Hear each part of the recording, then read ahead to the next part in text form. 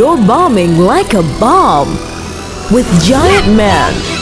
Rap House TV wameipata sauti ya msanii Arakeli ambaye yupo jela akitumikia miaka 30 na hii ni sauti ambayo ilirekodiwa kipindi ambacho alikuwa akilalamikia matatizo ya kiafya ambayo alikuwa akiyapitia huku kwenye jela ambayo amefungwa kuto kuzingatiwa upande wa matibabu. Msanii huu kipindi ambacho upo jela miezi hivi karibuni alikuwa akilalamika kuwa kuna matatizo ambayo anayapata hasa eneo la miguu yake, na baadaye ikaja kubainika kuwa ana tatizo la kukaukiwa na damu na hii ilipelekea hapo baadaye kufanyiwa upasuaji kwenye Achilles tendon, yani kwenye maeneo ya nyama za nyuma ya miguu yake. Sasa sauti hii msanii Arakeli amesikika akisema hivi, ninayofia maisha yangu, hata wanyama wanapewa huduma bora kuzidi mimi. Sipaswi kufariki kwa sababu kuna mtu ambaye ananichukulia vibaya, ama watu waamini kama nina matatizo miguu. sitakii kufa kwa njia hii, ampaswi kuhusika kwenye hili.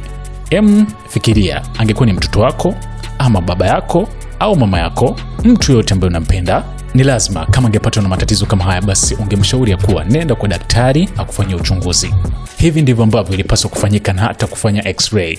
Kwenye mwendelezo wa sauti hii, Arakeri akasema kuwa hata hawajamfanyia x-ray, yani kufanya uchunguzi wa kubaini tatizo gani ambalo lilikuwa likimsumbua na kuweka wazi kwamba hiki ndicho chanzo ambacho kimeweza kumpelekea yeye kuweza kufunguka haya, kwa sababu anayofia maisha yake kutokana na eneo ambalo yupo. Hata wanyama wanahudumiwa vizuri kuzidi yeye. Sikia hiki ambacho nakizungumza hapa Arakeli.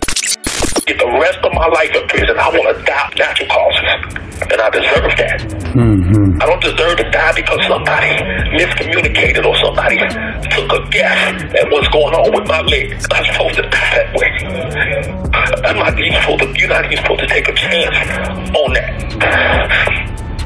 Because it was your child, if it was your father, if it was your mother, somebody you love, you would have said, go to the doctor. We need to get that checked out. We need to look at that. We need to x-ray that. They didn't even x and that's that's why I'm speaking out on this because I'm scared for my life in, in, in that area. And who wouldn't be?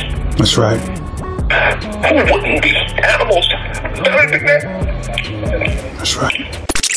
Mwezi Machi mwaka huu 2023 mwanasheria wa Arakeretwe Jamfo Bonjin alizungumza na umma kwa njia ya vyombo vya habari ambapo aliweka wazi kuwa mteja wake kwenye jela huko Chicago Metropolitan hapewi huduma vyema vile ambavyo inapaswa, hasa upande wa matibabu, na kuwa swala la matibabu ni kitu ambacho alikuwa azingatiwi kabisa msanii huyo tangu aanze kutumikia miaka yake 30 jela. So hiki ndicho ambacho kinaendelea kwa sasa kumuhusu msanii huyu arekeri Hapo ni SNS Management. Unapenda tunachokifanya? Unaweza kutuchangia kuanzia shilingi 500 bonyeza linki kwenye maelezo ya video zetu au bonyeza kwenye bana yetu palipoandikwa unga mkono SNS. Asante. mm. Wewe ni mwana SNS wa kweli.